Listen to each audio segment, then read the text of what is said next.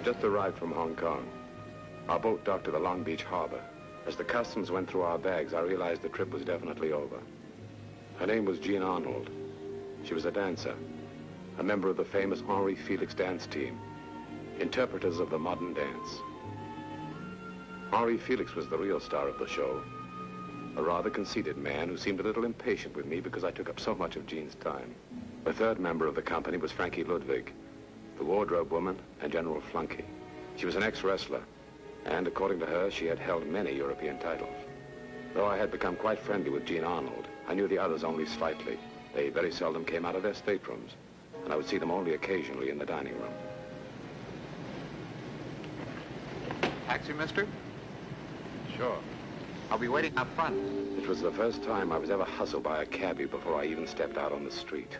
I learned later that the little cabbie's name was Sam. If I'd known what Sam was going to lead me into, I might have gone back to Hong Kong. I've got a taxi outside. I should wait for Henri. They can follow. I'm going ahead with Mike. I'll meet you at the hotel. Rehearsal at 2 at the auditorium. I'll be there. See you at the hotel. Only one hour for lunch. You'll be there at 2. Wilton Hotel.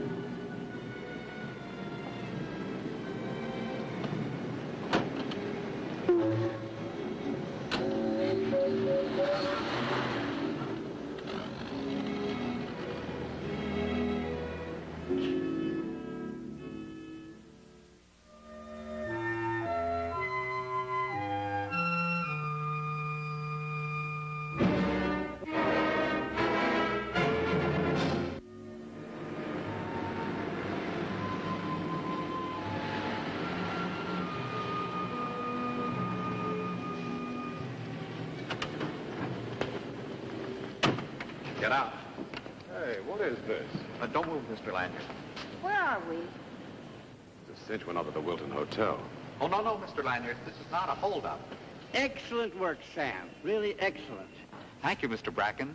That's really a compliment coming from you. Thank you, Sam. And I mean it. I'm really proud of you. When you stop slapping each other on the back, would you tell me what this is all about? I'll come right to the point, Mr. Lanyard and Miss Arnold. We want the jewels. Uh, the jewels, hand them over. I'll do the talking, Sam. What jewels? $100,000 worth of rough-cut rubies were purchased in Hong Kong. One of you is carrying them. One of you has been able to outwit the customs officials. Or perhaps you both are working together. Look, I don't know anything about any jewels. May I go, please?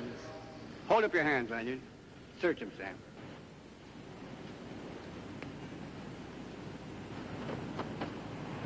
Nothing. Perhaps we can uh, negotiate. I'm afraid you've been following the wrong pigeon. About the only thing you can hijack from me is some greenbacks. That's your final answer? Afraid so. You'll regret this, Mr. Lanyard. Where'd you borrow the taxi? I'd rather not say. I understand. Leave it here. This is merely the beginning, Mr. Lanyard. You'll be hearing from us soon.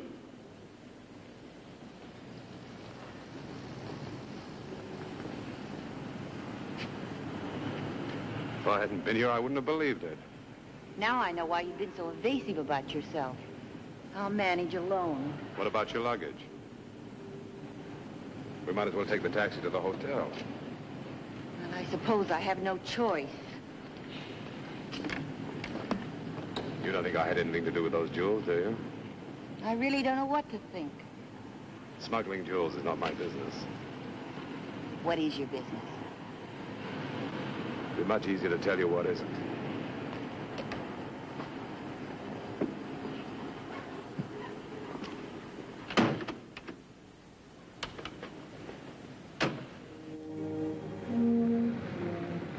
I drove to the Wilton Hotel. I couldn't be sure myself of what was going on. The incident was too ridiculous. I tried to explain to Jean that these two men who had accused us of smuggling were complete strangers to me. I even suggested that we laugh and forget all about it. She couldn't see it.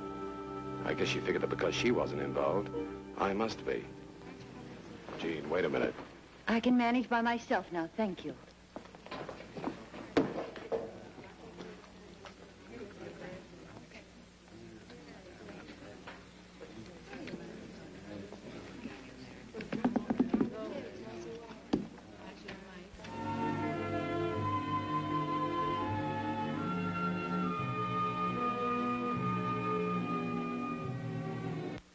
Show ended about 11 o'clock. I hurried backstage. I wanted to see Jean Arnold again. Maybe she was holding out. Maybe she called the police to cover for herself. I didn't know any of the answers yet, but I intended to get all of them. I don't like the police on my back. What do you want? I want to talk to you. I don't think there's anything to talk about. No? I think there is. Let me make myself clear. I'm starting on a world tour. It's very important to me. I can't afford any bad publicity. Maybe that's why I'm here. But you're very nice, and I like you very much. But at the moment, I have no intention of committing suicide. I told you I don't smuggle jewels. That's your business. What you do, I mean. Just leave me alone.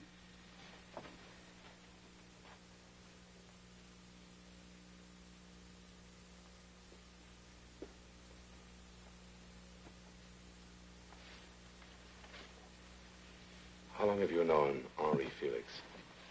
Six years.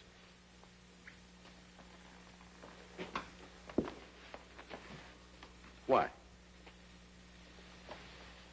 If I said it was only curiosity, I'd be lying. I do not understand you. But I do not like your spending so much time with Jean.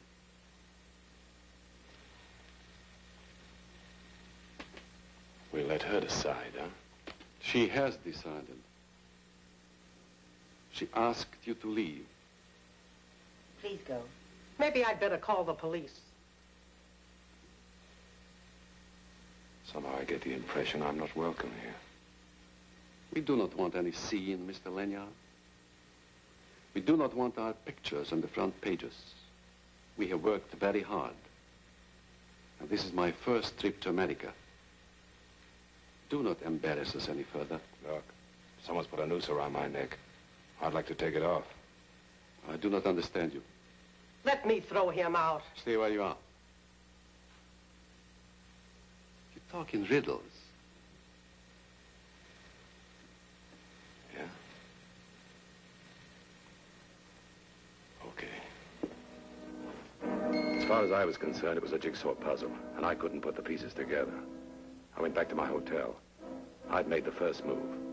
Now I could sit back and see if anyone would countermove. We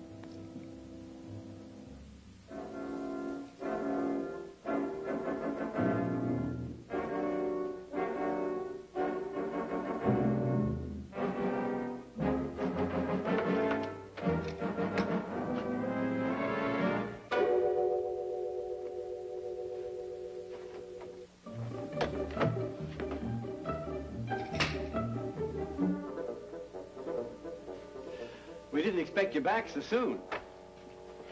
Well, did you enjoy the concert? Huh? The concert. Oh, yes, excellent. How nice. Uh, We couldn't go. We had work to do. So I see. Did you find anything? Not a sou. Really, Mr. Lanyard, you're quite clever. Frankly, we're ready to give up. Sit down. Make yourself at home. Thanks. Oh, it's our pleasure. You don't want me to commit homicide, do you? Uh, we object to violence, if that's what you mean. I'll give you five minutes to put everything back where you found it. Yes, sir. Uh, no, no, Sam. The uh, shirts go in the top dresser. That goes for you, too, Mr. Bracken. Get going. Of course, of course.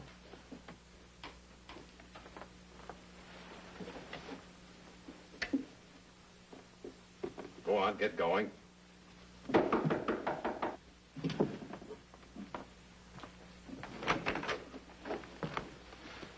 Come in, Lieutenant. We're, uh, we're playing games. Know any? Well, you know Mr. Bracken and Sam. We met. Yeah, nice to see you, Lieutenant. Can I get you anything? A drink or something? What are you doing? Taking inventory? No, tomorrow's laundry day. They friends of yours? Look, Lieutenant, I asked you before and I ask you again. What do you want with me? You know Jean Arnold pretty well, don't you? So what? When did you first meet her? On the boat coming from Hong Kong? Did you know her before then? No. How about Henri Felix? I hardly know him now. I checked. There was an important jewel robbery in Hong Kong about a month ago. The rubies were worth a $100,000. A tidy sum. Where did you meet those two? We, uh, she had a cab this morning. I That, can vouch for that. correct. I have a warrant to search your room, Lanyard. You won't find anything. He's an authority on the subject. I'm not going to search it. I just want you to know I've got a warrant. See you later. I'm proud of you, Mr. Coming from Lanyard. the You boss, really Mr. handled Lanyard, him that's quite a compliment. I know, We you make a wonderful team, the plan. three of us, a wonderful team.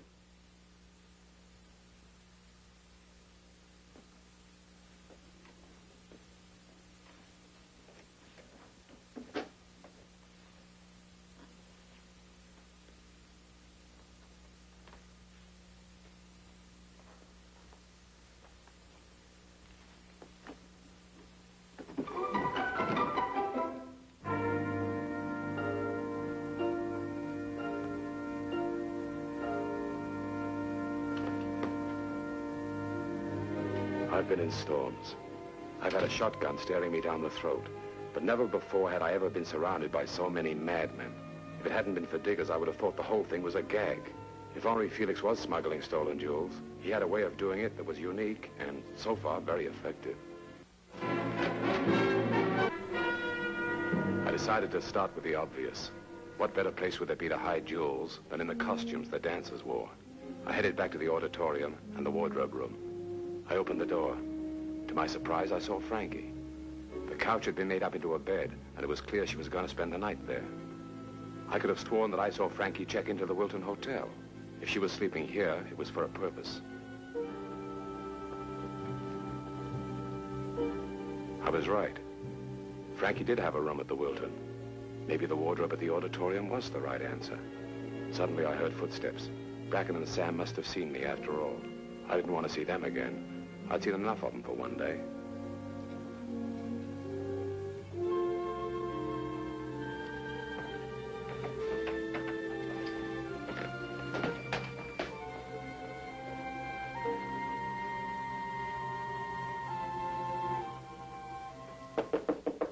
Who is it? It's Jean. I've got to talk to you. What do you want to talk to me about? Well, can't we go in your room? You know, we shouldn't be seen together. Sure.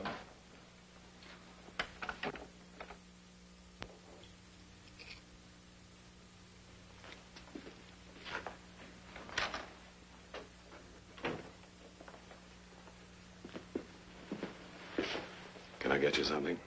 I'm so mixed up, I don't know what I'm doing. I can't see why. It's been a normal day. If I could only trust you. If you could. Then what? I've been at the police station all morning. Felix was there, too, and Frankie. Asked us a million questions. Oh, how did you do? Well, they, they asked Felix if he's gotten off the ship in Hong Kong. He said no, he hadn't left the ship. I knew he lied. He did get off in Hong Kong. Meaning what? This isn't the first time we've been questioned about bringing jewels into a country illegally. And this morning when I was in the police station, I suddenly realized that maybe I was wrong about Felix. Does he know that you suspect him? No. What about Frankie? You think she's involved too? I don't know. Wish I knew what to do. Does she always sleep in the wardrobe room? She has a room in the hotel. Oh. Have you any idea how the stones get into the country? No. What about that jeweled hat you wear in the finale? It's only colored glass. You've a rehearsal tomorrow afternoon, haven't you? Yes. I'll be waiting in the dining room. I want you to bring that hat to me. If the hat was covered with rubies, I'm sure they wouldn't be there now. I want to look at the stitches. See if the stones have been replaced. What'll that prove? It'll prove how the jewels got into the country. I want to be sure. Is it really Felix? Or someone else? You don't trust me anymore. You're right. I don't. Rehearsal's at two tomorrow. Be through by three. I'll meet you then with the hat. I won't count on you. But I'll be there.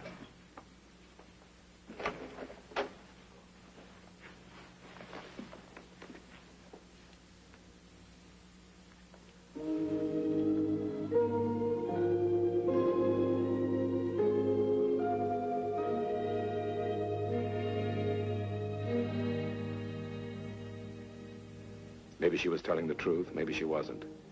If she was telling me the truth, I could use her. With the police breathing down their necks and Bracken and Sam trying to cut in, they'd have to do something soon. I just wanted to be on the spot when it happened.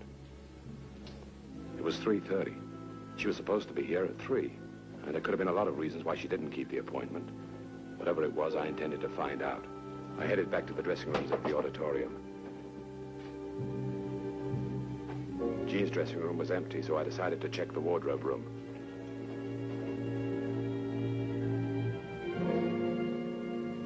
The trunks and the costumes were gone. I hurried back to the hotel and talked to the clerk. He said that Henri, Jean, and the others had arrived about 50 minutes before and gone up to their rooms.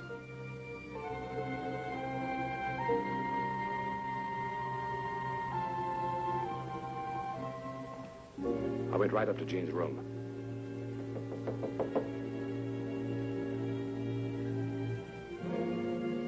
But there was no answer. I used a skeleton key.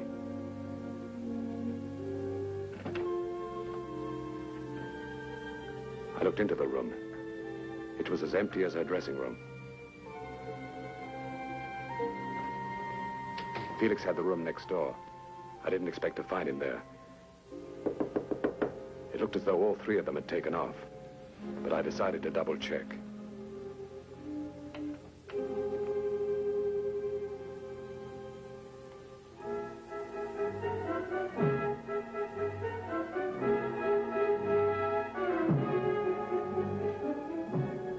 I'm glad I did, because he was there. Only he was dead. At the moment, finding Jean was my problem. My only hope right now was Bracken and Sam. Come in. I knew you'd come to us. Well, glad to see that you finally seen the light, Mr. 33 and a Lanyard. third. That's how we're going to split it up. and a Yes, third sir. You're a full partner. Wait a minute. Where's Jean Arnold? Forget her. I know you've been tailing everybody night and day, including Jean. Did you see her leave the hotel? Yeah, but she's not important. Do you know where she went? Sure. She's not important. Felix is our man. That's the man we got to watch. Where did she go? Forget about the girl, Mr. Lanyard. It's Felix we got to watch. Night and day. If you don't tell me where she went, I'll break every bone in your body. Really, Mr. Lanyard, you're being quite a bore. The girl's a red herring. well, about ten minutes ago, she got into a taxi. I double-checked and discovered she'd gone to the Bay Harbor. Can't you take a boat from there? She might be able to hire a private boat to take her to San Diego, but you're chasing the wrong one. Felix is our man. Felix has been murdered.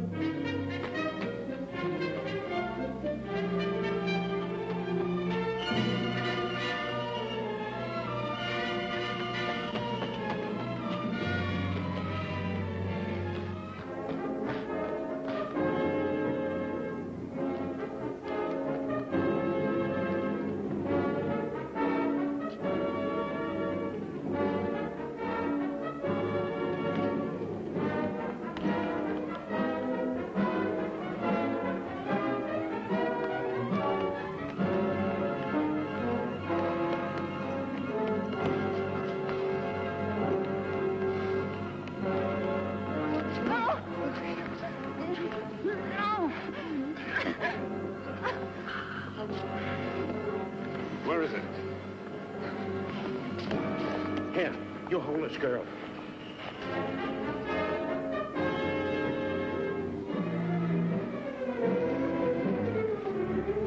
Oh, Uncle? Okay, Lanyard, you win. Didn't I say 33 and a third? We'll split the reward three ways. Reward? They were stolen rubies. a huge reward from the insurance company for anyone who recovers the jewel. We're not hijackers. We're, we're, we're not even fencers. We're private detectives.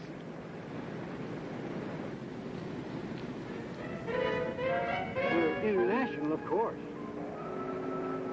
Of course. I'll take that. Uh, the reward. Yeah, we trust you, Lieutenant. Yeah, thanks. Hey, Lieutenant. Is this on the level? I'm afraid it is. I just had a rundown on the boat. At the top of it all, they write pulp stories on the side. What about Jean? Jean and Felix were partners. Jean decided to double-cross Felix and make you the patsy. Nice girl. Oh, and we picked up that wardrobe woman, too. That wasn't easy. But she talked. Good and loud.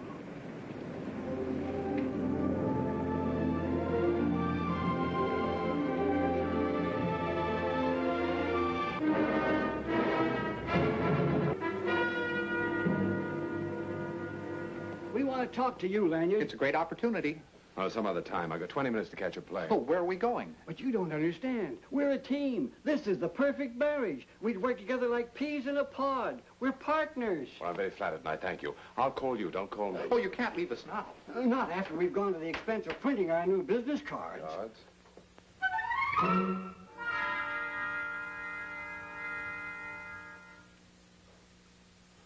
Very nice.